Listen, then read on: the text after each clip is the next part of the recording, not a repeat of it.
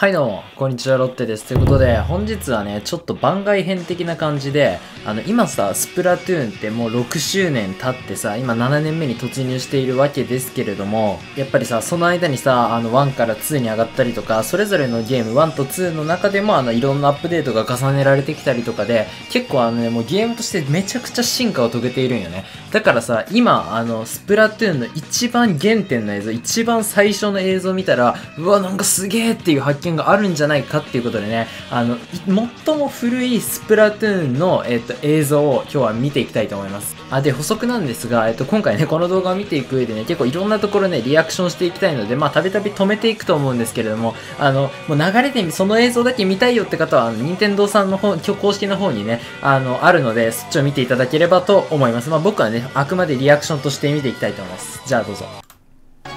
うおー、そうだよね。最初は Wii U なんだもんね。Wii U なんてマリオメーカーとスプラトゥーンがなかったらもはやゴミ同然よ。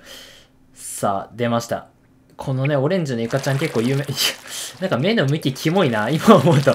こっち見られるのちょっとキモいな。なこの目のさ、若干上向いてる感じに慣れてるからさ、ちょっとあの真正面見られるとキモいんだけど。さあ、やっぱね、1のテーマカラーである青とオレンジね。今はピンクと緑なのかな、2は。3は何だったっけ黄色、あー、来た来た来た。うわ、キモい。ちょっと、ちょっと、ストップストップストップ。気持ち悪すぎる。気持ち悪すぎる。ホラゲじゃん、これは。こんなんホラゲよ。もう、スプラトゥーンじゃないよ。これバイオハザードの亜種だもん、こんなの。いや、もう続き見ていこうか。いや、気持ち悪すぎた。そうか。え、俺もこの映像さ、実は昔見たことあるんだけど、最近見てなくて、めちゃくちゃびっくりした。キモーと思っちゃった、今一瞬で。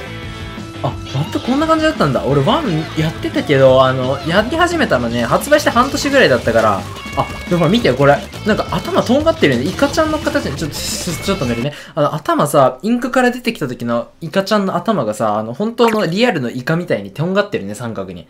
こういう、こ、本当に細かいとこまで見てね、あの、見てなかったから、結構新しい発見だ。で、これさ、今この映像で止めてるんだけどさ、10ポイントって書いてあるね、これ。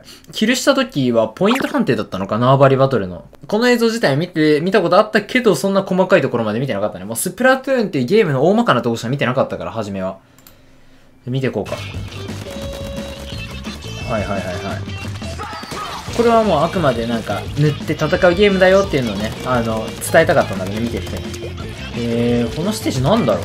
これハコフグ倉庫だね。ハコフグ倉庫だ。いや、は、え、すごい？ハコフグ倉庫ってあんな、なんか、横に流れるコンベア的なのあったんで知らんかった。てか、今もう止めた画画面と思ったけど、アルワナウォール長っこれね、長距離走じゃん。もう400メートル走じゃん。この縦の長さ。こんないらんやろ。長すぎだろ、これ。で、これがデカライン硬化したじゃなくて、な、なんだっけ？ちょっと待って。あれなんだっけ？思い出せない。あのステージの名前なんだっけ？あ、デカライン硬化したで合ってたみたい。今調べたけど。で、塩の湯殿だね。その止めたシーンで映ってたステージが。さあ、ローラー。これスーパーショットね。はい、元祖スーパーショットでござんす。最強スペシャルの7回。そして、チャージャー。かっこいいね。この時から。さ、これがね、あの、スプラトゥーン1で一番有名っていうか、いろんな、B、PV で使われたステージなんだけど、なぜか2にないんだよ。いや、もう、もう、ちょ、ちょ、ちょ、ちょ、ちょ、ちょ、ちょ、ちょ、ちょ、ちょ、ストップ。ストップ。あれは、犯罪。あれは犯罪。ちょっと、ちょ、ちょっともう一回戻ってみる。もう一回戻ってみる。ちょ、ちょ、えー、っと、1分35ぐらいから見ようか。よし、と、用意、スタート。ローラーがね、可愛く歩いてる。で、トルネード、いやいやいやいやいや、もう、もう、あ、もう、うーん、言葉では言い表せないほどの地獄。なんだろう、あれは。あの、デカライン硬化したステージ、まあ、あの、ワインやってる人じゃないとわかんないと思うんだけど、あの中央部がかなりの面積占めてるのね。あとはなんかもう、まあまああるんだけど、自陣側、敵陣側にもそれぞれ、まあ広いスペースは。でも、主に敵陣側の広いスペース、味方陣側の広いスペース、あの、まあ中央の広いスペースだったんだよ。で、あのトルネードも中央部全部埋めてたやん。あれはダメだよね。まあ、回収前だから、俺回収後しかやったことないから何とも言えないんだけど、あのステージ自体もね、見た目結構変わってて、いや、でもあれはあかんやったら。あんな、ナイス玉の完全上位互換。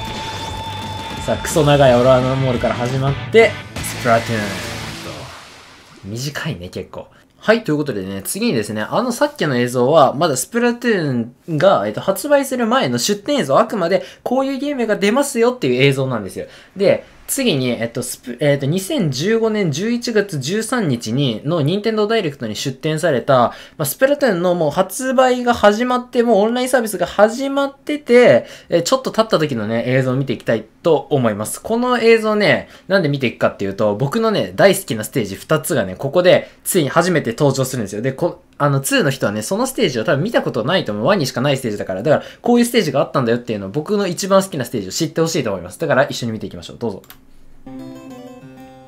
さあ、美術館ですね。これ何なんだ自動ドアまでしっかり作られてて。こういうスプラトゥーンのステージってさ、使わないところへの作り込みすごいよね。お、パブロー。えっ、ー、と、若葉落ち葉じゃない。なんだっけあれも短。さあ、この時のヒーローローラーですね。かっこいいね、やっぱいつ見ても。考える、考えるいか、考えるいか。来ましたよ。これがですね、えー、金目鯛美術館でございます。